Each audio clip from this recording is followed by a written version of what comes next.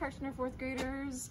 This is our fourth day of our six week uh, time at home and I hope you're having a great morning. Today is the first day of spring and the sun is out.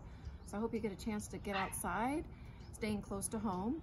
I have an idea of something that you can do. If you'd like to use some chalk, you can leave a positive message for someone on your driveway or in, on a sidewalk or in your front or backyard on rocks. You can decorate the rocks and make the world a little brighter place. Leave a positive message for someone. We talk about positive messages in our classroom for each other.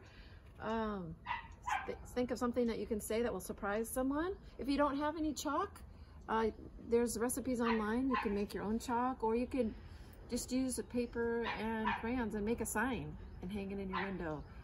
Let's be positive today on this first day of spring and hope you get outside and enjoy the sun.